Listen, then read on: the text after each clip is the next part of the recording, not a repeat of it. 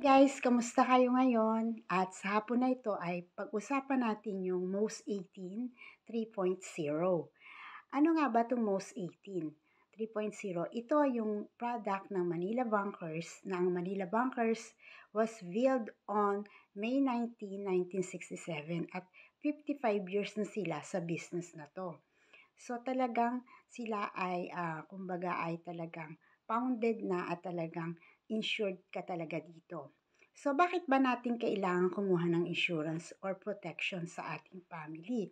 Kasi di natin alam kung hanggang kailan na lang tayo dito sa mundong ibabaw at kailangan yung lifestyle ng ating pamilya ay uh, upgraded pa rin kahit na magkasakit tayo, ma- magkaroon tayo ng terminal illness or yung tinatawag na na-aksidente tayo or worse, yung mamatay tayo. Kasi pag namatay tayo, lalo na kung tayo yung breadwinner, paano na yung family natin? Saan sila kukuha ng panggastos nila everyday?